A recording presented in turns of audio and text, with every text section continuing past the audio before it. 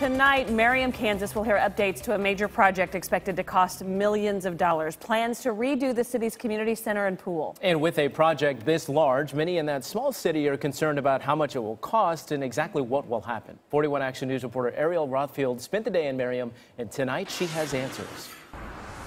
Concealed inside Merriam's community center is a hidden menace. We spend a great deal of money band-aiding problems. This year we had problems with the HVAC system. We lost two pumps. We've lost ceilings. The city's community center does not have sprinklers, and the aquatic center's bathhouse is not ADA compliant. It's a matter of do you renovate what you have or do you look at and see what is going to be 30 years from now and how you want to proceed. City Council has three choices. Keep the community center as is and repair as needed, renovate a section of the center, or rebuild it altogether with a new pool. They've sent out a survey and they said, well, uh, what do you want in a community center? You know, it's like going shopping for a new car.